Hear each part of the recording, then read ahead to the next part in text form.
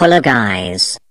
If this video gets 2222 likes, then I will heart every single comment. So, if you want heart, you have to do only three things. First, like the video. Second, subscribe to my channel. Third, comment now.